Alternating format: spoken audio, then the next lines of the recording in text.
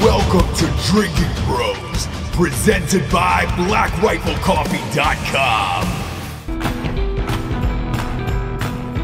Yeah. You sound excited about half of our guests. Today's episode, though, you were genuinely stoked all day long for this this woman. Yeah, because I think this I think this one is going to be very interesting because for the first time we have a very well educated human on on the show that is going to be very confused by m- me and you psyche. I would say more you, and that's look, Oh, that's just oh. me being real. Why don't you why don't you give her a proper introduction? Okay, so today we have Dr. Jannell MacAulay. Uh, we have a doctor. Colonel We have a real doctor. on. retired from the United States Air Force, doctor and pilot. She's a doctor pilot. What? Welcome. How are you? I'm great. I'm very excited to be here. I'm look. I'm excited to have an intelligent conversation for once on this show. This is amazing for me. Uh, additionally, Ross, we have Mr. Tim Pachesa to my right, who is a TACP of 24 years, and we have our big bald baby. The Man. doctor's hot, but she's married. oh, she is. She is married. Okay. Uh, that was that was show. that was my first Raw question. smoke hammer. Smoke hammer. All that and brains too. Well, I welcome. mean that to- with the utmost respect. Welcome to the show, uh, guys. We, we appreciate uh, you guys being on. Jarred, you were actually at, at her seminar yesterday, were you not? Yes, yes, she did. She did a speech yesterday at the Air Force Sergeants Association's convention. Uh, did an hour long uh, seminar on what she's going to get into with us today, and I, I was super excited to bring her out here because I know. Ross, you're going to be super into this. Baker's going to ask a million questions, 50% of which are going to be stupid, but that's why you're here. Provocative. Okay. Provocative, All right. fantastic. Whatever So, real, real Mentally quick, provocative, not like yeah. yeah. Well, what did you get your degree in? What type of doctor are you? Is it psychology? Is it is it medicine? Uh, Actually, I have my doctorate in strategy is the area that uh, my actual degree is in, but my focus was in strategic health and human performance. Because as you know, strategy is kind of a big, broad topic. So when you get a degree in something like that, you have to kind of niche yourself in a focused area. So really, what I studied was how to create the most badass human weapon system for the military. And so you can't you know analyze that and spend a good portion of your academic career looking into it without looking at everything from sleep to nutrition to how our minds work and uh, So are you like really that doctor from Top into it. Gun? I'd like to think I'm better than that. Ah, Right? look at Because that. Here's, here's the That's thing. a great the thing. answer. She's hotter Here's than. Kelly McGillis too, aren't you? I've seen pictures of you. See, here's the thing. Did Kelly McGillis actually fly the plane? No. Right. No. See, that's where I bring But bring did Kelly a different McGillis ever do it. anything doctor worthy in the entire movie? She wore that leather jacket. She just slept with students. and rode on the I mean, let's be honest here. I mean, you know, I'm the the largest anti Top Gun person in Yeah. the room, so I'm just saying. Yeah, she drove a Karmann Ghia too with a Oh, shitty little car. God, that was dumb. But Ross, let's get into real quick before we we we move into that, like how we came um, across her. Like, so so Tim introduced us to her, and can you kind of give us a history of how you had first met her and and kind of how we all came today on the set? Yeah, so uh, absolutely, like uh, like JT said, I was a career TACP doing that gig, and then got picked up to be a, a command chief in the Air Force. So uh, a senior listed dude inside an Air Force wing, and my first wing was in New Jersey at Joint Base McGuire Dix Lakehurst. And so I, I showed up there, and uh, Dr. MacAulay was then Lieutenant Colonel MacAulay, and was the squadron commander for the Operational Support Squadron. And uh, so, so we kind of met that way. I, I did in briefs and with all the different squadron commanders, and kind of met. And, and she had talked about some of the uh, the wellness stuff that, that she's going to get into. Baker, he's only gone to Air Force boarding school, so he doesn't know what an operational support squadron is. Can you Well, explain what what that was? I did inside your that tour wing? yesterday too, so I got that going for me Okay. now. Oh, All right, nice. so- So, so her her squadron kind of ran everything. They have the people who run run the airfield. She owned the air traffic controllers. She owned uh, a c- couple soldiers, a lot of civilians, some Navy folks as well at Lakehurst, and that's the place where the Hindenburg went went down. So all the behind the scenes, like outside of a regular operational squadron, all the behind the scenes stuff to facilitate the flying and all that encompasses, she she owned. Awesome. Awesome. Wow. Well, yeah. Usually, somebody who owns all that stuff and is as smart as her doesn't look like her. you know, where did where did you go to college? Where, where, where did you get your, your degree at? Uh, well, I originally went to the Air Force Academy. Oh, Wow, Not the look ring. at Not the ring. I know, I know. Well, it was either that or I wanted to go dance on Broadway. Oh, And my parents were kind of We were funny. talking. Like literally Is before you that yours? showed up. You that's same same thing. we same were dream. talking about musicals, and yeah. I was telling JT uh, that you technically don't have to see a movie that's a musical if you just listen to the words of the song. So we were talking about Rent. But you don't need to watch Rent to know that everyone has AIDS. Uh, in Wicked, you Elphaba is green. You don't need to watch that play to know that. I mean, Have you seen The Greatest Showman? I have. Okay, is it not the greatest movie? It is the greatest and all movie. You Do you- did, all you I- did was listen to the soundtrack, and I'm like, What? What's fucking better, watch the, the music movie. or the soundtrack? What? I'll watch the movie. I like the soundtrack. I'm not saying I'm not going to watch the movie. I'm simply saying the soundtrack is awesome, and then you assaulted me verbally. The soundtrack is awesome, but the, mov- the movie is really great too. I think the way Yes. it connects all the music Yes. together, right? Now I I, I did I, I loved it. I haven't made it all the way through though. I'm too drunk by the end of it. I pass out, so I don't know how it ends. You are a. I mean, you Gets are drunk a watching thespian. that movie. like I think I mean I've only gotten to the part where I assume he's gonna start liking the new singer girl, and then and then I'm, by then I'm like too wasted. I pass You're out. a, we have we have a thespian among us, folks. so you went. What what would be the psychology behind somebody who gets drunk at a child's movie? I just I'd like to hear her opinion on that. That's, that's Is it a child's movie? that might be a, Yeah, a, a deeper gee. conversation here. If we're going to go all the way that far, um, I mean, there's a lot of things to unpack. Uh, no, so I, I went to the Air Force Academy, um, and my uncle had been a helicopter pilot in the Marine Corps, and so he used to take me to the air shows. And between that and then literally, imagine a seven-year-old girl. My dad was a cop. And he would take me around places and he would tell anyone who would listen, he's like, This is my daughter. She's going to be a fighter pilot or a submarine warfare commander. And I just look up at him and be like, What? I'm going to be a dancer. And he would say, like, just keep saying that. No, no, no. You're, you could go in the military. You could be anything you want to be. And at the time, those jobs weren't even open to women, right? Like the 80s. Let's just go ahead and say thank God you weren't a submarine warfare commander.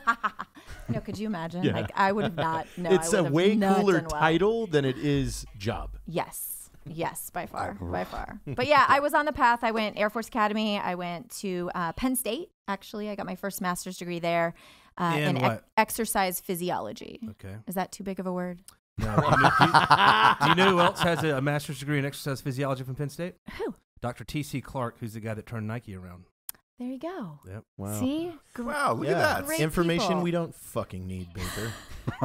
Yeah, exactly, exactly. JT, Our, our drink, our- actually, our, our drinking with. bros sports, go ahead. I'm sorry, Ross. our, our drinking bros sports co-host. He he's he's got his master's from Penn State as well. NBA.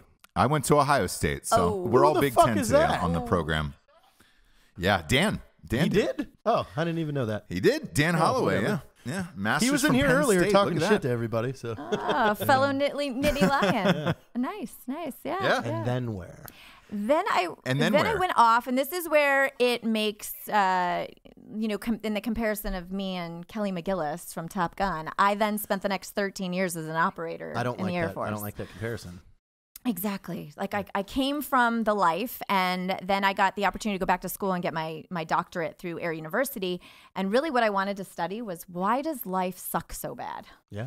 And why can't I figure out how to do all of this better? It didn't sound like your life sucked so bad when you were doing all these cool things. you know what? Like from the outside, everybody would have been like, man, she's got her shit together. Right. But I was really struggling as an individual to be a mom and to be a, a wife and to be a badass pilot and to be a leader and all that pressure on us, right? To be perfect at everything. And um, I was, I was damn good at what I did, but I was on this pathway where I was going to hit a brick wall. And I eventually did. And when I hit the brick wall is when I went back to school and just kind of said, there's got to be a better way to succeed in life and handle the stress and pressure of what we're asked to do in the military, but what really everybody's asked to do in life today. So that's kind of uh, the path I took. I was curious. Good path? Great path. Okay. Great path because I think now I have not only the experience and background of living the life beforehand and then researching the topic and then applying my research to improve uh, the way that I led later as a squadron commander, and then um, you know how I've been able to impact uh, different corporations and the the military and So what you're saying, if life sucks, get a PhD and it'll be all right. For me, that was the well, I mean, this is this is perfect to go into now to explain to Ross and Baker kind of uh, the the whole your whole your whole thing, the thing that we watched yesterday. Yes. So what basically this the solution I came up with through my research and and what I really looked at was how do we build those badass um, human weapon systems in, in the military to succeed at work and at life um, in the name of high performance is really what I was looking at. And I found that if you think about high performance, I think most of us know that it takes hard work, right? You got to work hard. Not nothing's easy. And then you have to be properly trained and equipped for what you do. And that can lead you to a to a area of high performance and some to some degree. But if you want to sustain that path, you really need to get command of your mindset. And so that's really what I focused a lot of my my work on, especially in my research and then lately in my focus with the military is how do we get command of our mindset? How do we capture the high performance aspect of our minds to help us perform better at all facets of our life? And it really comes down to this idea of living more in the present moment because you know there are thoughts that go off in our heads all the time that take us on tangents that distract us that keep us mind wandering that keep us in regret and worry and i love using the word catastrophizing about the future and um, you know it's kind of like you, you send an email and the person doesn't respond back and then you tell yourself this story you're like oh they're mad at me you know, freaking jerk. Like, why why aren't they responding? She doesn't like me anymore. That's why she's not responding. People that, that use She's found read another dude. receipts on texts. Ugh. yes, yes, exactly. They're the people who can't break out of the psyche, right? That in their their mindset that controls every interaction that they have, gives them feedback in their mind that's a story or that's a worry or that's something some piece of overwhelm and stress. And so really this this the way to get that sustainable pathway is to get command of your mindset and um, or at least that, that's like the foundational piece and i also talk a lot about you know sleep is important and nutrition is important Well, let's let's let's that stuff. dive into mind wandering because Okay. you got to tell these guys the statistics on this because and your your visual aid with the like VCR controls was perfect. Like, Yes. So So yeah, so mind wandering. Um, first, I think that there's sometimes is some confusion because some people say, "Oh, it's good. I was mind wandering and and letting my creativity come out." And there there's two separate brain functions that occur. Mind wandering is a distraction. It is unintentional. You know, you, you read a page in a book and you get to the bottom, and then you're like, "Wait, I don't even remember what the heck I just read." That is mind wandering because your mind went off on a tangent and you didn't want it to go there. It was mentally time traveling.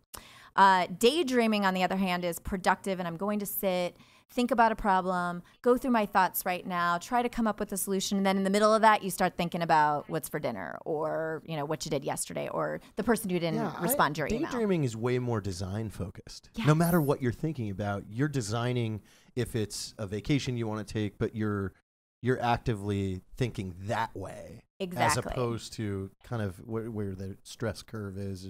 Yeah, yeah, the unintentional, right? Um, there's no efficiency and productivity really in that mind wandering space, I would say. And then um, the stats and what the research really tells us is that we do that, that mind wandering thing, almost half of our waking moments. And they say it doesn't matter what activity you're doing, it will still be half of your waking moments. I think they even put like having sex Yes. as one of I've the definitely options. done it. And you're mind wandering. A lot. Hold on. What do you mind wonder about? Everything. Eh, Like- Wait, hold on. Are you really? A lot of Like things. where to hang the fucking crossbow. Is that because you're mind wandering, and you're trying to take your your get out of the moment so you can go longer? No, no, no. I mean, yes, there's both with That's that. a But legit seriously, question, dude. though, I've I done that catch shit. myself like, do it all the time. Hey, where do I want to put the crossbow? And I'm like, God, why am I thinking about that right now? So you can last longer. Maybe. Ah. No, I, I, I, I under JT, I, I understand what you're saying. Like there, there's moments in life where you're so focused on something else that you can't enjoy what is in front of you. So yeah, Well- like dude, there's a lot of guys that, that are that are thinking about their fantasy football player, hoping that Aaron Rodgers throws for 28 on a Monday night game during sex when they should be focusing on their partner. Well, now, now, That's the honest now truth. here's now here's the the the, the mind blown. It, it, she's going to tell you a way to stop this. Yeah. Concerta? Okay, Definitely not. Okay. Bullshit. It works. What is that? uh, adult Ritalin. Oh God, no, no, no drugs. It's not a drug. I'm I'm I'm anti-drug. Yeah. No mind drugs. Holistic well-being. That's really my focus. There's a better way, right? Because when you take something like Ritalin, there's a lot of side effects, right, that come with it. I'm talking to some to you about something that's you know grounded, that is good for you, and will hopefully heal a whole bunch of things that you're suffering from. And I can see you're suffering from quite a bit. So For Baker Leavitt, Ross Patterson, and Jarred oh, Taylor, this is Drinking Bros. Come out of here. Baker is oh. bright red right now, which you can see because we're running the cameras, right, Dave? I can't tell if Hell she's being yes. serious or she's like Oh no, she with me. knows. She knows. I'm not suffering from a damn thing. You know, you know, there's things wrong with Jarred, right? No, she's talking about me. I oh, am ex- both, extremely Bo- both Baker right and Jarred. Yeah. He's sweating a lot. His Can his you- fucking his his fists are red, Ross. I'm gonna put a dip in. Can you can you can you diagnose him right now? And and you I'll- barely know. I'll tell you this. correct? Go for it. I will answer anything you want to ask me truthfully. Well, well, here's the thing. Here- Yes, but here's the thing about my degree. I don't diagnose. Okay, I just can talk it provide Okay, an we'll get- assessment, we'll- we'll just right? best like I can guess. assess. Take a chance. But which can where do we want to start? Like, can we start with your diet or your sleep, your Yeah, sleep sure. patterns? Absolutely. Woo- Let's start with sleep. Yeah, okay, yeah, yeah. how much do you sleep at night? Fire away. Uh, minimum of eight hours. Okay, that's good. That's I know good. that. And for all the, all of those listeners out there who are like, I only need four hours of sleep and I'm pretty awesome. That's bullshit. You, it, it is. It's it's a load of crap. Like your all human bodies are made the same and they need sleep. Sixty eight hours really is the the sweet spot because you know how long can you go without food?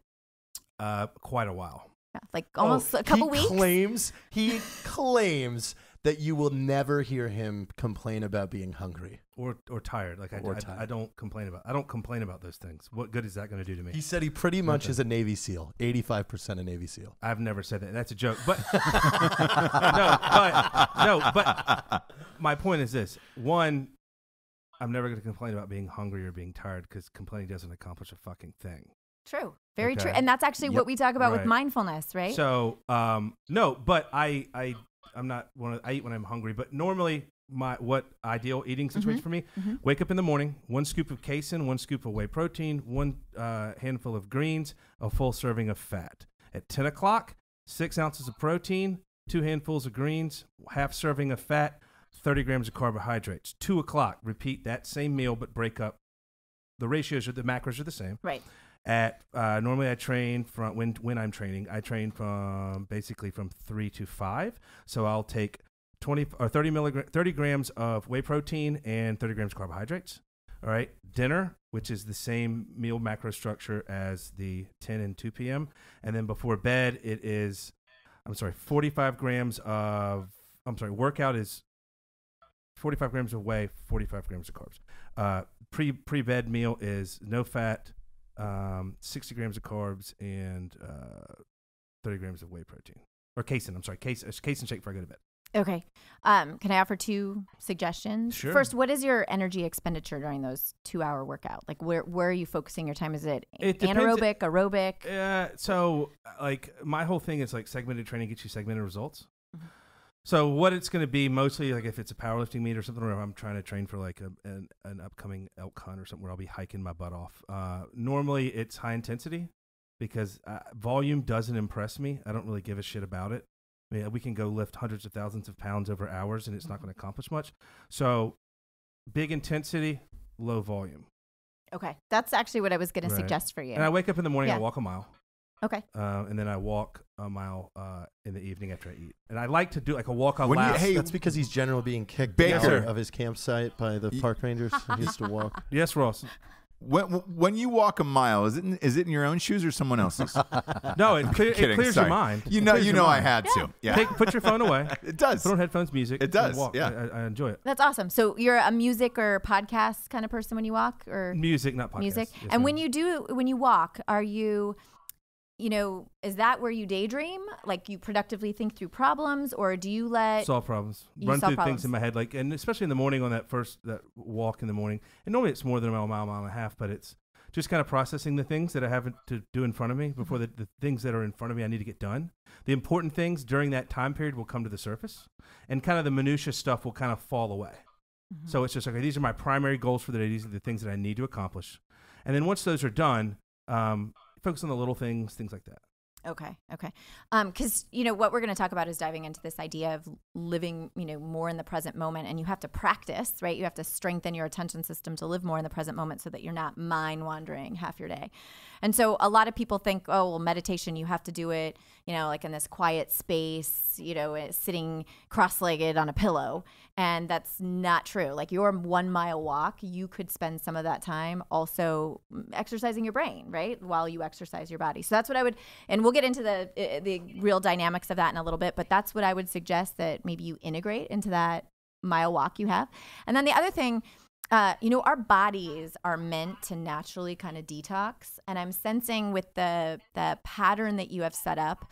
Um, and I know there's different research that'll say different things, but the the most prominent that I have found when you don't allow 12 hours between last meal and first meal, you don't get or give your body its own opportunity to naturally detox. And so what happens is we end up a little puffy or we end up with like a kind of a mucus lining all over our cells that prevents them from performing at their optimal. So I would just say you don't have to do it every never heard that. I haven't either. but um I would suggest you know maybe you know one day a week at least or maybe a week at a time like allowing your So a like 12 a 12 hour hour window. fasted state. hmm Yeah. Okay. There's a lot of power in fasting. Um, So Ross and you, Baker, what she's about to tell you guys, you know, we learned yesterday in her uh, symposium. What do you call that? Seminar. Seminar, Yeah, yeah. seminar. Seminar. Uh, Before we get into I that, did- ask a just, question? Just wait.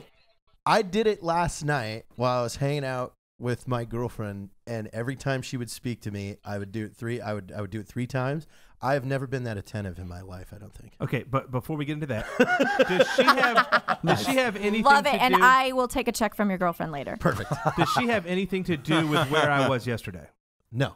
The Spec Ops No. training facility. Well, well, so so so kind of so uh, Dr. MacAulay, when she was stationed out in Albuquerque, she did a lot of stuff with the pararescue units out there. So if you want to talk a little bit about that, Yeah, so I was um, well, I was assigned to this uh, special operations wing. So we did uh, combat rescue and um, spec ops, uh, all the aviation um, training for those uh, airframes, and uh, stood up. My basic job was to stand up a pilot program for human performance optimization. So we actually one of the biggest things we introduced were for all the students that were in incoming, and then the uh, most senior instructors. Because here's the thing: you have this life cycle of an airman, or actually life cycle of any service member.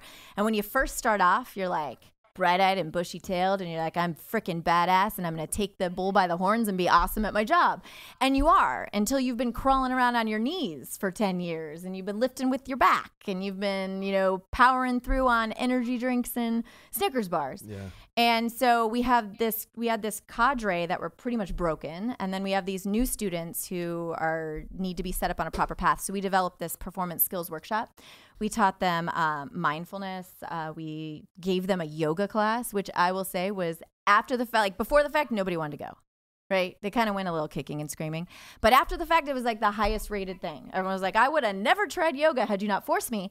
But now that I've been through it, it was amazing, like so beneficial. yeah, we were. Uh, where did we do a tour yesterday, JT? What's the name of that place? You were at the Battlefield Airman Preparatory Course. Yeah, and uh, John BA Welborn and I went, and um, I have never in my life seen anything set up for those participating to succeed in what they were doing. Amazing, right? Blown away. Amazing. So I've done some consulting with. You know where a lot of that came from, and I'm going to give him props. Um, Colonel Ron Stanger was the Yeah, commander. that's who took us. Yeah. Oh, did he? Oh, Yeah. he took you around. Yeah. So I've consulted with him. We've worked together. Um, and yes, like what they've been able to do, uh, everything from the wearable technology to Mobility kits, it- everything. It, really is Yeah. um, amazing. And so that's right. I mean, we there's all these pockets, especially in the special operations community, where they're looking at ways to build this hum, you know human weapon system to be better.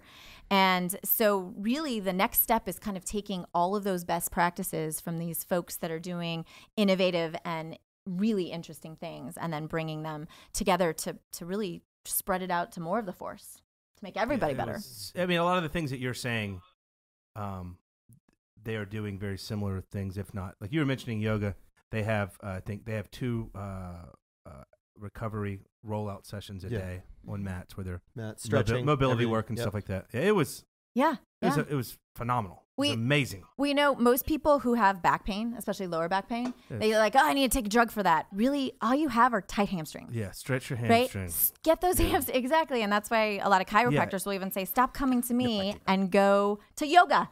Yeah. no, it's interesting. They um, you know, we get into a, a thing where we try to treat the symptoms and not the problem. It's like in the '90s, you know, it's like, oh, pain, you're in pain. Here, let's give you a drug.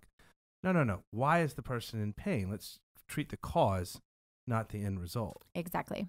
Yeah, Yeah. it's fascinating. So anyway, JT has, has you have three nuggets of information for us. What? Oh, Focus things. yeah, no, yeah, she's. I wanna hear whole- it. Yeah, I, I got, that's- I, that's I her got, I got. I got more, but Yeah, um, boom. so, so yeah, where were we? We're uh, mindfulness. Really, that is, um, and I'll use the the iPod Yeah. analogy because I think most people relate to that. So, if you think of your brain and your mind as an iPod, we spend a lot of time in fast forward, catastrophizing, worrying about the future. We also spend a lot of time in re- rewind, ruminating, regretting over the past. We don't really sit and play. And this is something that I learned from one of my colleagues, Dr. Amishi Jha at the University of Miami. She spent a lot of her time devoted to research in high stress populations like football players, lawyers, uh, the military, and trying to figure out how our attention systems work and how we can stop mind wandering and be more focused so that we can ultimately do our jobs better. And really, it's because our minds are so fantastic at mental time travel. We need a skill set to bring us back to the present. Um, and then you add on top of it today, I mean, just think. I mean, I think 20 years ago when I was first starting college, we didn't have cell phones. We didn't have social media. We didn't No have email. no email, right? Yeah, And- nobody texted for a while too, even when it was available. Right. It was almost weird to get a text. Yeah. You're Yeah. like, "What are you doing? Call me." Right, exactly. like just a totally different world. And so now we have people going through these same types of stressful occupations, but then you put all of the pressure and stress that comes with what being connected 24 7 creates. And really, from a scientific perspective, what it's doing to us is it keeps us in this chronically stressed sympathetic nervous system activation. Constant refresh. Yeah. Yeah. We're like, of, oh, uh, I need to see him again. I need to see again. What happened now? Something Right. bad is going to happen. Yep. Yep. Co- co- completely. Right. Or we're constantly thinking about did I get another like on my Facebook page? Yeah. Or did somebody, you know, uh, comment on my LinkedIn post? Whatever Yeah. it is, right? It's or Twitter addiction. feed. It's a weird addiction. It is. There actually has been research that says we get the same brain dopamine response from a, like a like on your social It's media. like a validation. It is. Yeah. It is. It's the the self esteem piece Yeah. and and kind of makes us feel good. But it's kind of false, right? It gives you like that false sense of security and it keeps you in this heightened state of uh, sympathetic nervous system activation and stress. And that is actually not good for us. There's a lot of research that says that's what leads to, you know, everything from cardiovascular disease, um, heart disease. We've got issues with diabetes. You know, uh, you know, we're finding that a lot of people in high stress occupations, um, you know, will make the choice to either commit suicide or they're having heart attacks immediately after they, you know, pull back from whatever it is they're doing. And it's just so much wear and tear on our bodies. So, mindfulness is a tool that can help us really get command of our mindset and get us back into this area where we can be focused, we can pay attention, and ultimately, what I've been interested in my research, we can be badass and high performing. That makes sense?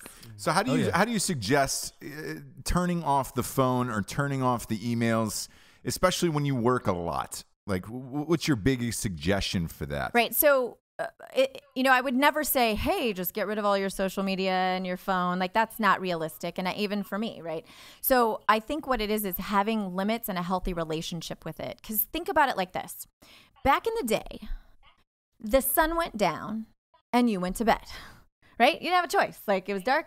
It's time to go to bed. The sun comes up, you wake up, right? Our, our normal circadian rhythm was set with the seasons, with the light and the dark. The, with the temperature of the light. And the too. news Yes. cycle, Study u- of- and the of- news cycle used to be that blues, way as well. you know, not having blues, shades of blue, light and and things in your house because it will never shut your brain off because your your your head is is programmed to see blue and know okay awake. Yes, exactly. And so we used to have that just as a normal part of our physiology. And now we have, we can work 24 7, right? Do you have you're connected 24/7, you have an artificial light that keeps you up 24/7, and so there's no work rest cycles anymore. Right? So we have to artificially create them I think in our in our lives and in our um uh just the way that we interact with other human beings. And so it's about setting those work rest cycles and setting those limits on your social media, on your um, engagement with your phone. Like, you know, sometimes we stand in line somewhere, right? And what's the first thing everybody does when they stand? In, they have to stand in line and wait, right? They Pull out their phone. pull out your phone, You pull out your phone, right? yeah. Because you're like, uh, I can't wait for five minutes in silence. What? Who does that? Yeah. I got to check my Twitter. I got to see what's going on in the news or whatever it is.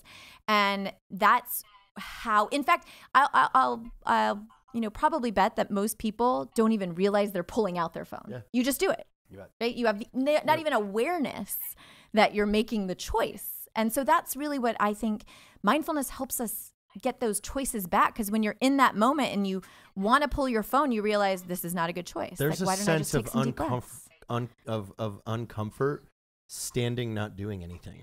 Yeah. Like it's like you don't want other people to look at you and you're just standing. You look there. creepy. Yeah. Just standing there That's staring exactly at the way I me. feel. Absolutely look It's creepy. like I need to look busy. Uh, Yeah, but also if you you know you made a comment, people pulling their phones out. I mean, now people don't even put their phones away; it just stays in their hand. Mm-hmm. Like Yeah. people don't put it in their pocket; they just have their phone in there and they walk around with their phone in their hand all the time. Yeah. That's how uh, connected and how kind of addictive um, these devices are. And so you really have to kind of develop the healthy relationship with them and kind of set aside. So I try to, and I'm not perfect at it either, but I try to set, you know, from this time to this time, I will engage on social media. And then later in the day, I'll go back to it and maybe do a couple hours at this point. But I try my best not to be the parent, because I've seen them, who's there playing baseball or soccer with their kids and they have their phone in their hand. I I asked one of our uh, big celebrity friends kind of how he how he managed his phone because I was curious about it. Like because I sh- I'm sure whatever I get, he gets by times 10 And he said the only way the only way he was able to stay sane is he does one hour in the morning and he turns it off, and he does one hour at night and he turns it off. He goes, I answer everybody in in these two windows, and that's it. You know, my closest friends have got accustomed to it, and they've they've learned how it works. And other than that, he's like, that's the only way I could I could keep my fucking san- sanity. Yeah, definitely. It's about those healthy limits. And then um, the other part of it is people get, you know, you're kind of talking about it's uncomfortable, right? To sit Yeah. there. So the uncomfortability comes from the fact that you never practice it. Right? We never stop or slow down or take deep breaths. And really, what that is, is activation of the parasympathetic system.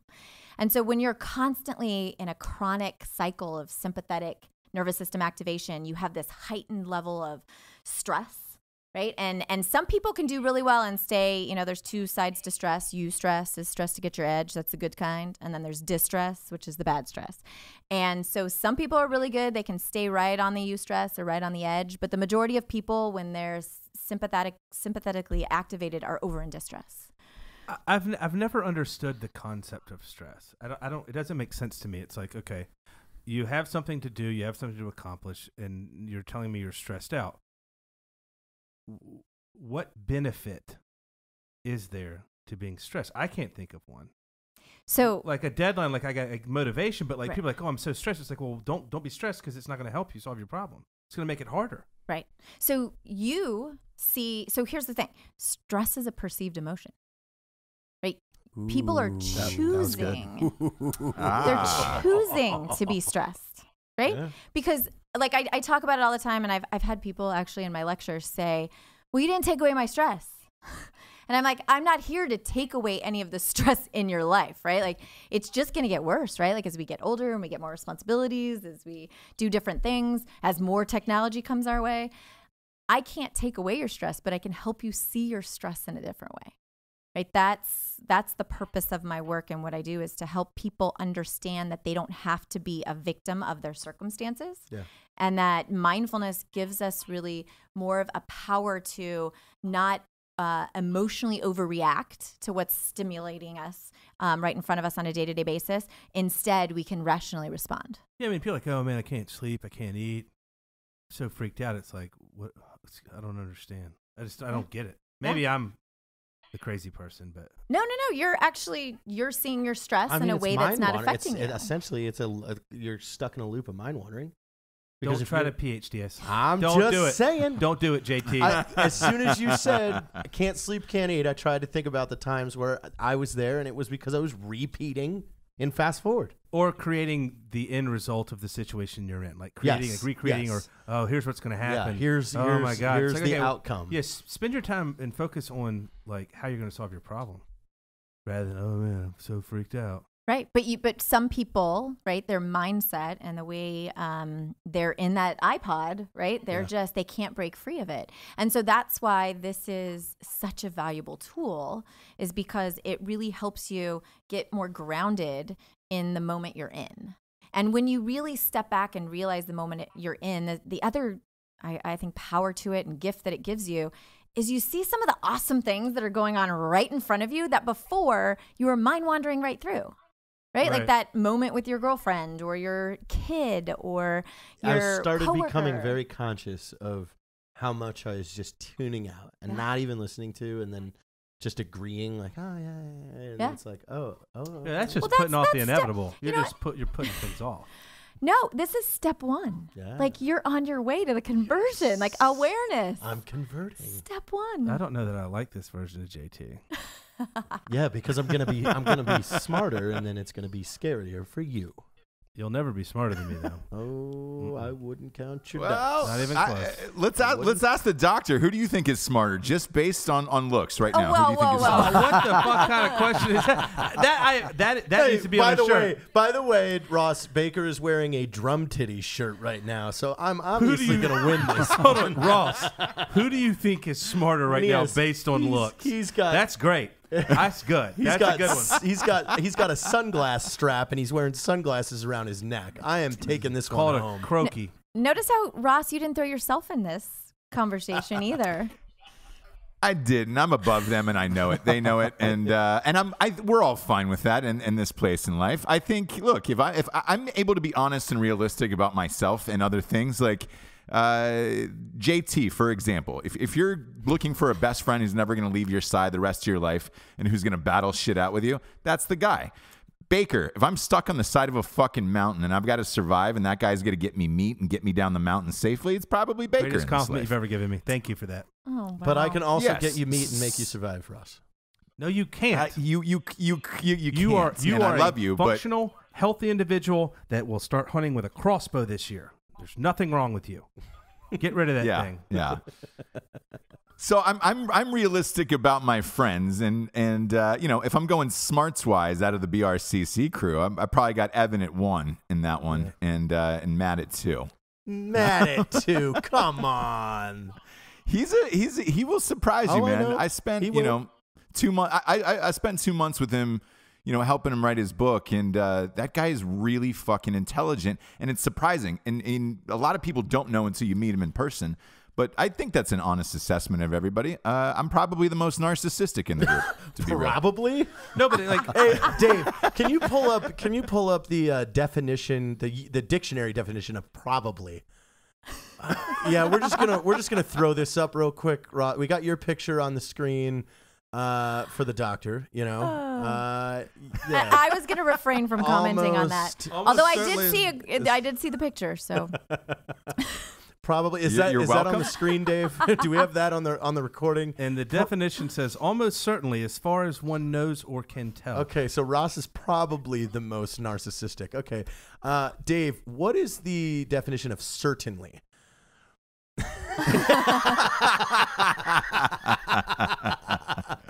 Yeah, no, look, I'll, Oh, yeah, I'll undoubtedly. I'll There we go. There we go. We're back. We're we found the definition for you, Ross. It's certainly. We've got a doctor in the house. I'm not going to lie to a doctor. Yes, that, that's that's and the probably antonym true. to certainly is possibly. Possibly, yeah, yeah. No, but- um, no, but but in all honesty, doctor, like uh, you know, since you're on the show, like I, I know what my problems are. A lot of them stem from what you're saying. So I feel like uh, I'm a father. I feel like I spend too much time on the phone, and I feel guilty about Yes. that. A lot of it's work, um, and I don't. Uh, A friend of mine said on another podcast, and I I think she had a great point when she said it, where she said phones for, for parents are like the new alcohol, where you're worried about being an alcoholic in front of your kid, or you're worried about just spending too much time on the phone in front of your kid, so that when they grow up, all they remember is, well, dad had his fucking phone out during every single event that we were at, and we were spending time Yes. together. That's one that I probably struggle with the most. Sleep, for sure. I maybe get uh, four to six hours a night. Uh, I wish I was like Baker and I got eight because I, I think you're correct. You really do need eight. Even though I function at a high rate and it's fine, I, I- I'm still, you know, fighting it with coffee and Strike Force and other things throughout the day. Yeah, exactly. Um, exactly. Well, But those are the two biggest things that I worry about. And then Yeah. letting go of things in the past. And that's what I wanted to ask you about next. Right.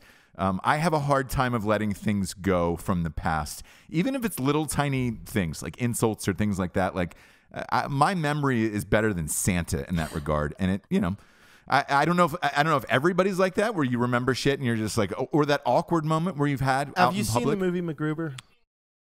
no. Yes. Uh, yeah, yeah, yeah. not. He uh, there's MacGruber. He was in it? No, no, no. Oh, He memor uh, MacGruber memorizes uh, a license, License plate. Uh, Yeah. And that's Ross. That is Ross. And then he has a whole Yes, notebook is. dedicated to this license plate. And he ends up Yeah. finding the car and setting it on fire So, later in the like movie. Like Charlie Babbitt from Got Rain it. Man. Yeah. People, crimes, and and uh, and punishments dictated against Charlie Babbitt.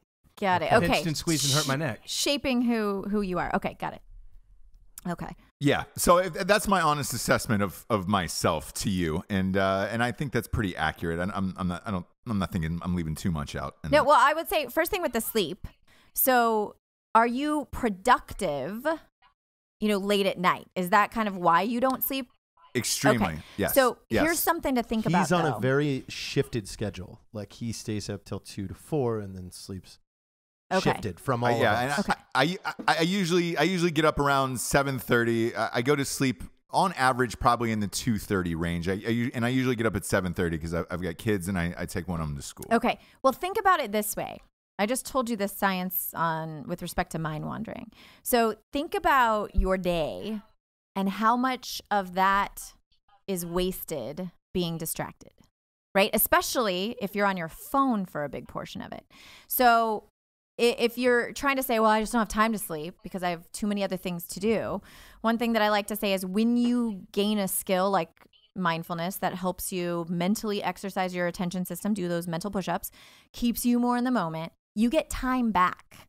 Because some of those tasks you're doing, you're mind wandering through half of it. So you're not as efficient or productive at getting it done. So maybe that, you know, this skill set can then help your pro- productivity get focused a little bit more. So then you create maybe an extra hour or two to go to bed. Yeah, something that would generally take you two hours once you start practicing this will only take you one. You know, and that's that's kind of what I got out of the talk yesterday. Is you know you're going to go out there and get reps, but you need quality reps. And these are you know so if you're going to invest in some endeavor, you make sure that they're quality, and it'll probably save you time, a little bit more efficient, opening up your calendar for more things. Exactly. You know, even um, having your phone next to you, right? Here's two things. When you work on your computer, do you leave your email up, right? So then it bings at you, I right? do. Worst I, thing. I, I do too. Really? yeah. Worst thing for your distraction. Is it? Stopping Yes, that. because here's the thing like every time it just gives you that little flash, you know, like a little highlight, this is what just came in.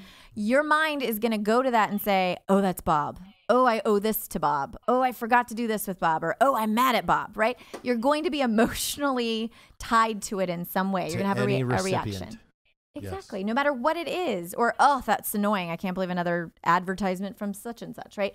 It will distract you. So you need to turn it off. The other thing, don't even have your cell phone like near you when you're trying to be productive because some of the latest research says that 20% of our attention is automatically like, you know, distracted because of our cell phone being on us or near us because our mind will constantly go, did I just hear something? Did that come from my phone? Did someone like my in Facebook Or if you keep it on a- mute, in- you're in a- constantly looking. Well, like it. I was just gonna say, in a meeting, if it buzzes, uh, I'm now I checked out for five minutes because Uh-huh. I'm like, who was that? Yeah. Oh, it could have been this person. Should Maybe I it was a notification Should I from look? Bumble or, Oh, or, no. or I'm not on Bumble. it was an example. I'm not on any of those. Thank you. you know, it's interesting though. You're talking about the phones, and you know, and Ross, you brought up the comment about you know parents at a Mhm. soccer game and their you know their kids. If you look at older generations, like my grandfather, they can recite the years that things happen like this, bam, bam, bam, bam. And I think that the today's generation and whatnot, like their memories aren't as good because they live life through life through a screen. And I cannot tell you how many hunting trips I've been on that we were filming, and the memory was through the lens and not through my eyes. And I don't remember shit. I've got a couple turkey hunts that like I've watched uh, on film and like, man, I have no. You don't even remember being there. No. Yeah. I don't remember that at all because I was staring. I'm trying to sh- you know, shoot I- a turkey and watch through the lens I and stuff. caught myself when Travis was doing the double backflip 360. Like I kept filming it with my phone, and then I, I finally was like, you know what? I'm putting this away because I want to watch this. Right? Yeah. Yeah. And everybody else has their phones out. I'll get it from them, but I'm gonna watch this with my Right. with my own eyes. Yeah. Yeah. For sure. Yeah. It definitely has an impact on your experience, your memory of the experience, you know, how you were engaged in the experience. I talk a lot about being mentally present. You know, if you look at, uh, there's a lot of research today on being lonely, right? And it, we have obviously a, a lot of really smart, really popular people that are choosing suicide as an option. And most of the time, that you would look at them and say, oh my gosh, but they've got all this love around them and all these people around them and all this money and all this happiness. But they're really lonely because they're not mentally present and engaged right? If they're if you're constantly inside your head and if you think of your attention system like a flashlight right it can be externally focused at whatever is most prominent in your conscious experience like what's going on in front of you but it can also be internally focused at those thoughts feelings and emotions. And when you start to just your attention system is always inward right you're not even seeing all the goodness that's right in front of you. And so it can lead us down these really uh, distraught psychological paths. And so um, we need to break free from that. We need to start experiencing life for what it has to offer right in front of us. Do you see a trend though? Like you know, a lot of the things like I, I've said, there's stress and things like that. You know, I don't understand them. I wasn't always like that. The I'm 43 now. The older I get, the more mature I get. I get a little bit wiser. Life experiences tend to you know be a little bit more broad. The list is longer. Um, like I just think the older I get, I, there's um, a better version of myself than I was in the past. Like emo- my, I think my emotional IQ is much higher. You know. Um, and some, but do, do you see these traits that you're talking about going away with time, or as people get older, they can deal with things in a different way, or or are you not looking at them that way? Well, I think it just depends on the individual. Mhm. Like you maybe are more of a mindful individual than you probably thought before I walked in here. Right? Like it sounds like you have some different hobbies and Rituals. activities, Yeah. right? Rituals, Yeah. exactly, habits where you're present. Mhm. Right? Hunting, a lot of people say, "Oh, I'm I'm not mindful. I could never meditate." But they're big time hunters. Right? What are you doing when you're sitting there for a really long time, right? Like that yeah, can- that's a great that, that's a great yeah, point. Or yeah. fishermen. What, what are you right? doing? What are they doing? Yeah. Yeah, Yeah. a lot of people enjoy those activities, and it. I think it's because that's when they're in the moment, Yeah. right? They you wouldn't enjoy hunting if the whole time you were sitting there or fishing or running. If the whole time you were doing those activities, you were stressing out. Yeah. So we leave on the fifth. My, one of my best friends and I, we leave on the fifth for a week in the Selway Bitterroot uh, wilderness area, and um, I, I cannot. I can show you text strings. We're like, dude, we have no cell coverage. I cannot wait. Six days, no cell phone, no nothing. We and it's it, like it's funny now because in years past, like what are you most looking forward to? Being out in the wilderness with my friends, you know, doing this, you know, primordial thing that you know, uh, you know, our forefathers did to feed their families, and I'm pumped about not having a goddamn cell phone that works. Yeah, because you need it. Your body yeah, is craving I, I- it. yeah. I I was I was at a dinner two nights ago, and I, I said that exact thing to my my best friend. Was just like uh, he doesn't use a, a phone that much at all. And I was like, man, how do you do it? And he's like, well, can you remember the time, the last time in your life when you didn't have coverage and you couldn't use it? And I was like, yes. And he goes, how great of a day was that? And I was like, fuck, man, it was probably one of the best days I've ever had. And it's it's simply because you you nobody can get a hold of you and you know and then, it. So and it's, then when the you phone do is, get is dead.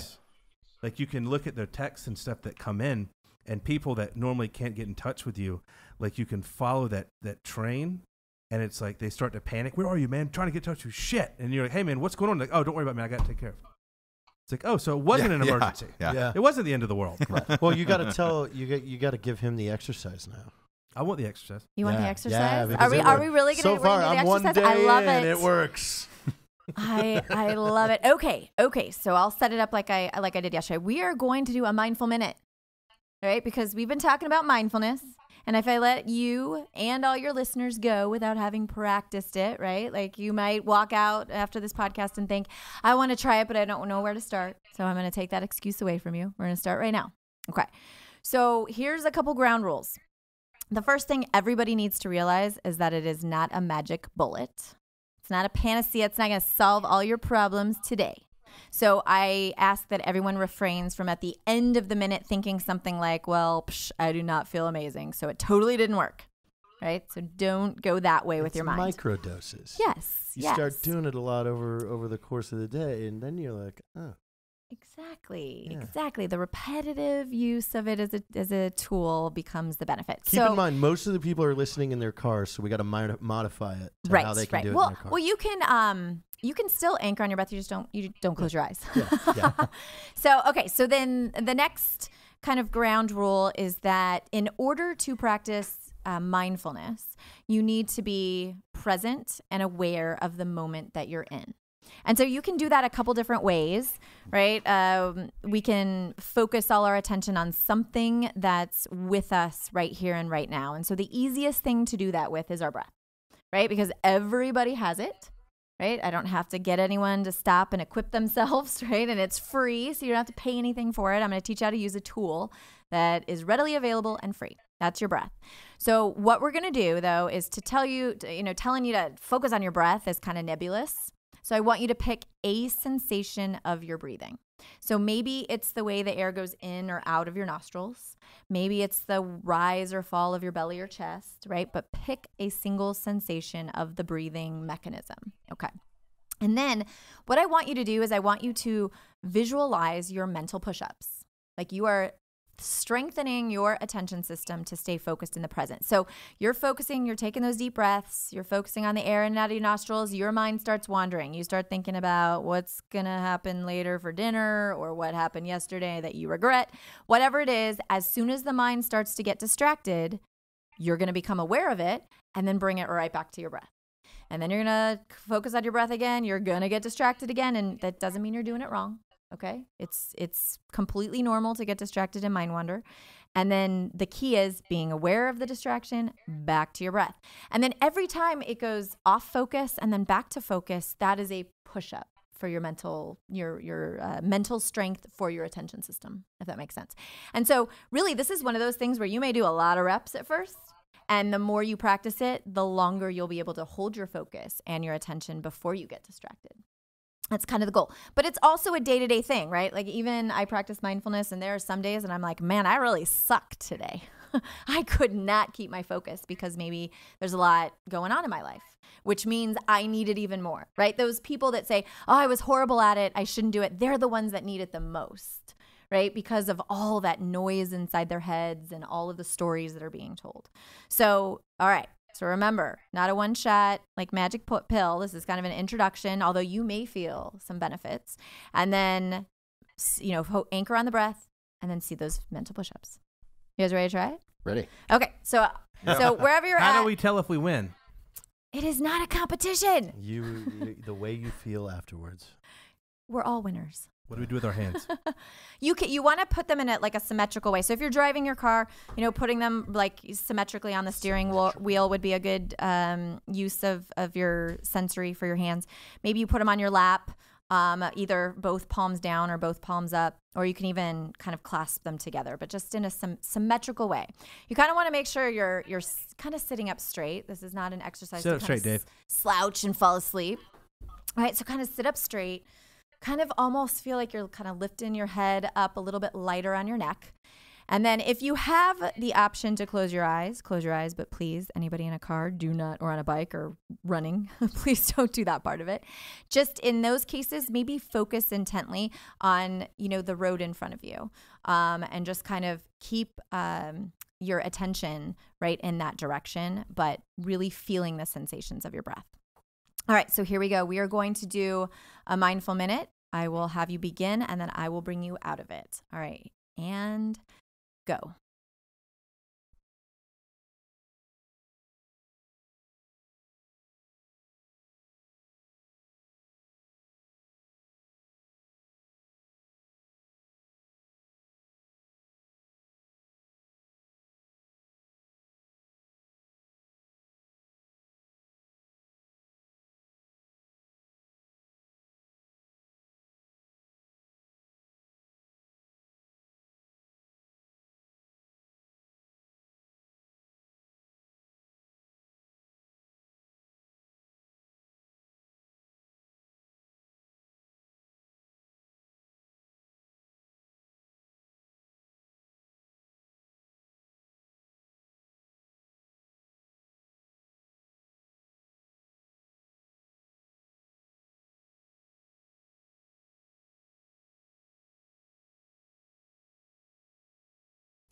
And stop. All right. How do you feel right now? Any, anyone in comments? A little weirded out. Yeah? Yeah. Was it uncomfortable for you? Uh, I felt a little vulnerable. Yeah? Not what, I didn't know what was going around on me. Then I started th- thought about JT at one point.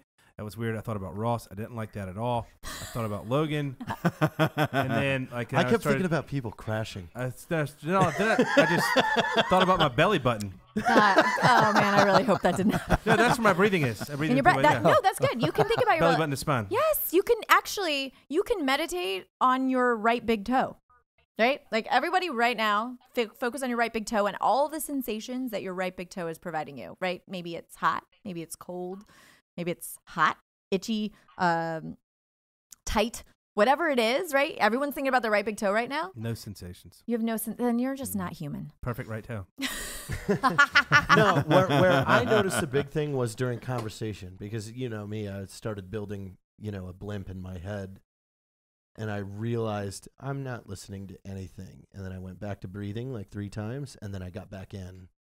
I was like, all right, all right, I'm I here, would- I'm here, I'm I here, would I'm here. uh, so, and was now strange, I'm building like a I- contraption that's launching a trash can over the wall. Like, uh, I was I'm back thinking in. about JT and like I, it was weird. Like I got drifted a little right, and then I was like, no, get back center.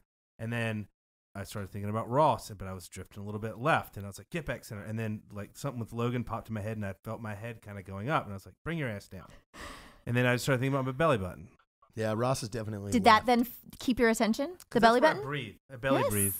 There you go. So you just needed that anchor point. And and not that the those distractions were bad, right? They're you did at least 3 push-ups.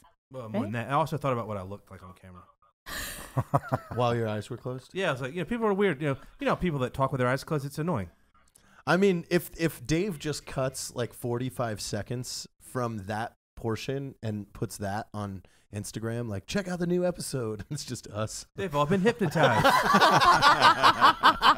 I love it. Find out Nice. why no one's talking. Uh, yes, there you go. Watch I- what happens. That's the ad. Uh, Ross Patterson learned how to hypnotize. Watch Baker and JT act Yeah. like idiots. Uh, well, Ro- Ross, how was it for you? What are you, any comments? S- y- Yes. So i- i- i- is it we- is it weird if you're thinking about your own self for a minute? Like, No, no. In what way? completely dead serious. In what way? So, um, God, I can't even believe I'm gonna I'm gonna say this, but uh, there's something soothing about you in your voice that I'm like, ah, I'll just be honest as fuck today. Um, I was in People magazine today, and I thought about that for the full minute of how rad that was. dead serious. So it didn't work at all for you.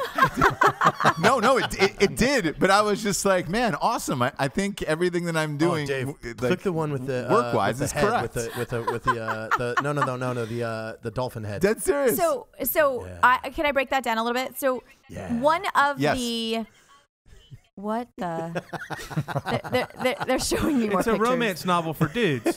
Whoa! I'm sure there's a big story behind that one. That's not Ross, is it? Ew, Uh, Well, okay, well, well. Well, Dave, did you do it? Did you participate? no, he was watching. He was watching this. He has to drive the ship. We were hypnotized. yeah, but th- he can't crash Yeah, the ship. yeah. Yeah, jeez, Baker. Definitely, That's definitely. true. We're I like this way yeah, better yeah, now but, that we can but, hear but Dave. fire away. Yeah. So Fi- fire so away. Let, Ross, let me what, know what that what I would say is, um, so I mean, the real root of mindfulness is, as you know, uh, Chachi was saying, like we're trying to build these reps, right? So that when we're in those high stress moments, we've built the mental strength to really keep ourselves in the moment. And maybe you only need to take like one deep breath and snap yourself out of those stories and the you know negative mind wandering that's going to happen when we're under high stress. So you can bring yourself back to the moment and truly perform at high levels. So the other aspect though of mindfulness is it really gives us this tool of solitude and self-reflection. And so maybe that's kind of where you went. Which doesn't mean it's wrong, right? Um, there can be a productive place of self reflection, one that is without judgment, right? So if you were kind of thinking in a way that was like, I feel really, you know, I, I have gratitude for what this opportunity had given me, right? And it does, That, that's exactly that's exactly what it was. So like, uh, it was about the show. Uh, actually, the show you're on, Drinking Bros podcast, is in People Magazine. And to me, like, it's become it, the show keeps getting bigger and bigger. This was validation of like, great, everything, all the crazy shit we do on this show on a weekly basis keeps getting bigger and bigger. And uh, and I was uh, proud of that moment. So that's what I was thinking about. There you go. So, but that's were you bringing space. yourself back? What, what, what do you mean? What was I I, bringing myself understood. back? Did No, no, no, no, no. I, I, I did. did like, you keep? I- I- did I you brought my- drift and then bring yourself back to the breathing? Yes, I did, and like surprisingly, I, I felt better um, because there's been a lot going on today, and I was just like, oh, all right, awesome. But how can it be that easy? But now Um, start I guess trying that- it like every you know five ten times an hour, not for a full Right, so- minute, and- but and- for uh, you know yeah. thirty seconds. and this is what I this is what I wanted to ask you. So, how long should somebody continuously do this throughout the day? How many moments? So, most of the research leads us to believe that 10 to 12 minutes a day is the sweet spot. And you can either do that in one chunk of 10 to 12 minutes, or you can do it, you know, 10 to 12 individual minutes throughout your day. Park your car a little further while you're running, while you're taking your morning walk, while you're, you know, um, just out in nature or sitting at your desk like you can find spaces for these these minutes um, but the key is the the breath so i think you also and some of you might have tapped in to this idea of the power in our breathing which is why i like to anchor mindfulness on our breath because you know there's a lot of research that just deep breathing helps us and benefits us in so many different ways our Oh, well-being our ability to prevent illness you know chronic illness and so when you, you know, on any given day, we only use about 20% of our lung capacity. So if you're practicing 10 minutes of mindfulness, you are taking those deeper breaths and really accessing a different part of your lung space and capacity that can be so powerful for your overall well-being. So that's also important. I don't know when the last time any of you just stopped and took some deep Well, breaths. well, so, Yeah, so that's what. Oh, oh, that's wait, why I was I'll- breathing I'll- through my. So my thing is like when I take deep breaths, I want to feel my entire lung space fill. I want to feel the, the diaphragm fill up. Yep. That's why I was saying belly button. 'cause if I focus on my belly button, bringing my belly button to my spine, I fill everything up. That's why I was doing that. No, it's a great sense. You're Yeah. basically oxygenating your blood, getting more O2 in there. Yeah. Well, so so Doc, so this this is uh, you know our relationship goes back two and a half years now, and and you absolutely won me over and changed my life with your oxygen mask theory, right? So so if you could just quickly discuss the oxygen mask, I think that that's a neat way to kind of sum this up and let people understand why being good for you first is important. Right. So, you know, for years I flew airplanes, and um, part of the safety brief is always secure your oxygen mask before helping others, right? In almost all of our emergencies, the first step is put on your oxygen mask. And I had never translated that to just life. And really, we have to put on our own oxygen masks, right? That self care piece. And I get it. There's some tough guys out there who are like, I'm badass. I don't need any more skill sets. Like, I'm pretty good at what I do. Really, you will never truly see where you can go as a human being or your true potential unless you start these some of these self-care you know techniques and skill sets. And it really is about putting on the own, your own oxygen mask. That's how you can lead and serve and do all the other things you want to do in your life better right? You can help others. You can you know have more time for um, devoting to your projects and your passions and your activities because when you take care of yourself you're going to be well prepared not only from the distraction point of view but from an overall health point of view to to truly be high performing in your life so yeah put on that oxygen mask man Absolutely. I like it. I, I get one last question for you, um, because only because I, I enjoy doing this, and I did it maybe a week ago, and it's it's unbelievably helpful. What do you think of those sound deprivation chambers? Isolation like those, uh, chambers. Yeah, yeah, yeah. That's it. Um, I like it, it's uh, the thing here is called like floats. So you float in this. It's all saltwater based. You shut the thing. There's no phones. There's no sounds. Uh, it's entirely black. What are your thoughts on that? So I have not experienced it yet, and I really don't. You know, I'm uh, the type of researcher I like to like live it, experience it before I I really give uh, my full opinion. So I am coming like this is coming from a place that of lack of research in the area, but I think the basic concept um, can be you know very powerful and and and good for people. It's it's an ice you know like it, there is something good to be said for or something um, to be said for separating ourselves a little bit but it's what you do in those moments right? Because you could be a high stress person who goes in there and then the whole time it's stressful for you because your mind never shuts off and then it's not going to you know you're not going to probably get the the benefits that you would want to see from that type of They've, experience they've done uh, some research. I think it was some SEAL teams did some stuff where they can they can pump in music, positive thought, They did a lot of stuff with like language, and they seem to be pretty effective. They actually we, they have a couple out at the facility we were at yesterday. Um, So I would say the results that they're getting would be even better if before they went in there, they also trained them in this type of skill of, you know, just focusing on the moment they're in Yeah. and separating from the thoughts. You're gonna get the real experience. You bet. yeah. JT sold on it.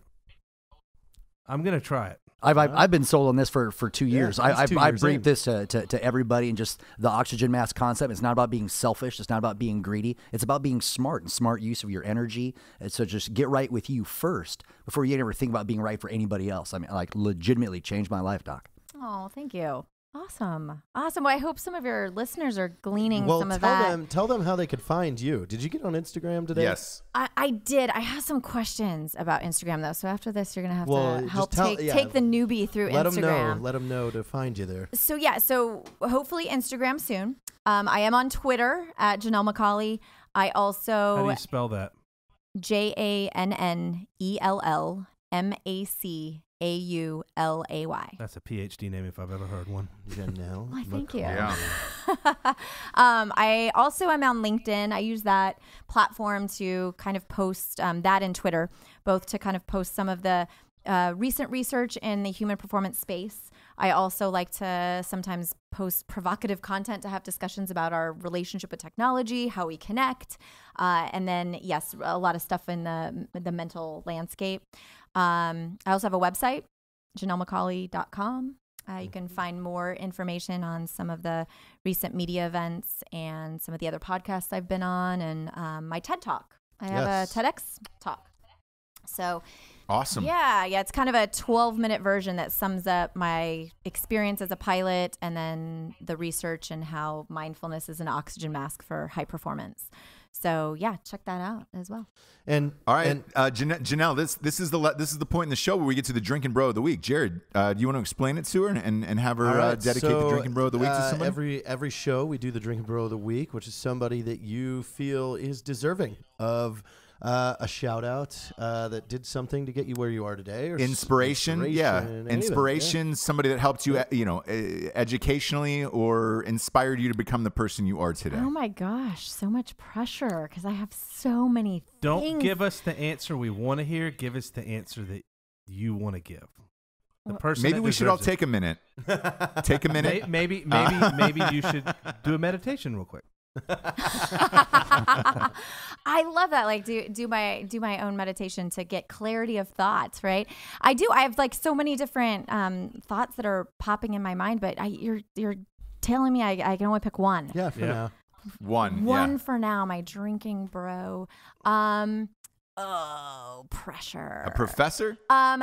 Yeah. Somebody you were in the military with? Yeah, there's there's you know there's a few quite a few people who took a chance on my so you realize that what I've studied is very odd The for the military. just because Yeah, so many people are Can't use the so husband. many people are going to be hitting you up. Too obvious. that. Just go with the Oh, husband. yeah. you know, you know, he was the first thought that popped in my mind, and I thought that would be cheesy. No, Let's go with I it. no, was like, I you would know, go with okay, it. can I can I just It's not cheesy. Uh, Can I just say why? Because I have always been the odd duck, right? Especially in the circles that I swim in, right? I'm around military and then special operators, and I'm the one that usually is talking a little bit about this crazy Voodoo idea. Of, witchcraft. yeah, you got to eat better, better, and you got to meditate, and you got to do all these things. Who's that girl My- studying voodoo? my husband has not only been a super supporter, but he's been on the journey with me. When I'm like, hey, let's meditate together. Hey, why don't you talk to your, he's a, a colonel in the Air Force, talk to your airmen about how you meditate. And he's on board 100%. We even, and I know this is going to be crazy for your audience, but we do a lot of um, plant based eating in our, in our house. And my husband, who is a steak and potatoes guy at, at some point, um, has gone on that journey with me. No, no, we just have to clar- we have to amazing, clarify. You're just a vegetarian. You're not a vegan. Right. We're I, more well, so against the Oh, shit. Yeah. and the vegan Yeah. and the vegan No, no- cat movement specifically. Oh yeah, no, I have nothing to do with that. nothing to no. I, I I will even say I'm like eighty percent plant based. Right, that is just the majority of what I eat because it That's makes me feel cheese? good. Yeah, like uh, every once in a while, I just know that there's certain things that don't make me feel good. Cheese is one of them. So, but you do eat meat. I'll eat it every once in a while if I cook it. Like I'm really Where do you weird get your about protein it. source? So um, we do a lot of lentils and I do a lot of um, quinoa. Yeah, I know. Crazy vegetables do have a lot of protein in them as well. But I do eat a little bit of fish. Don't argue too, with her, too. Baker. She's a doctor. I, hey, so is so is my brother. So yeah, all these crazy ideas. My husband's always been like on board, and so he really is my drink. He's my drinking bro. awesome. What's his name? Ah, there we go. That's awesome. Colonel Chris MacAulay. yeah. MacAulay. Drinking bro of the week. Shout What out. size of- Cheers. hey, what size Cheers. of fella is he? Mm, he's about six foot. Fuck. Uh, I'm Tim, kidding. you have a podcast. Where can people listen to that? And what's it called? Uh, yeah, so uh, so some uh, some of the leadership stuff that I've been developing, a lot of it with Colonel MacAulay. She and I kind of collaborated when we were at Joint Base McGuire Dix Lakehurst. But if you want to check out some stuff and just think about your understanding of expectations, people use it as a bad word. I have a podcast called Cape Lead, stands for Care, Alignment, Perspective, and Expectations. So we're on we're on Google, we're on Apple, doing all that stuff. So capelead.com also, and then uh, Twitter uh, at Tim Pachesa. Check it out. And and and just as a, a context to him, he's I, I I will give you guys. He's he's one of those TACP leaders that we've had for many many years. That he's like Patton. If he told us that we had to march on Capitol Hill, we would all not question him and we would grab our stuff and go. So uh, taking his advice on leadership is uh, definitely something I recommend. I appreciate that. Awesome. Awesome. Well, hey, guys, we appreciate you being on. We, we appreciate you being on Drinking Bros. Jarred, I want to give you a special thanks, man. You hit me up about how excited you were to have this guest on. Usually we have like strippers and low class people. This is one of the easily one of the most high class shows we've ever had. So Listen, I I'm proud of started you, the Jarred. breathing exercises and got smarter. Damn. I love it. I love that you're expanding your horizons. Thank you. Yes, for I think this is going to be a very big deal to a lot of you know our listener base is is highly veterans, first responders, very high stress, high stress people. This is all things that you know we've never heard of this before because nobody, none of our peers talk about it. So we've got to break them out of the box and get them to, to to think about things like specifically that that could help them, not just I'm going to drown myself with Jack when I get off work. Yeah, exactly. I hope it will give you my word that I will commit to doing 12, 10 to 12 minutes of this breathing exercise every day until I leave for my elk hunt on the 5th. I want to hear your findings. Okay. Yeah, I love it. hear my what? Yeah, I I would- want to hear Yeah. your findings. me too. And I'm telling you, you yeah. don't have to sit down and do it for a whole minute.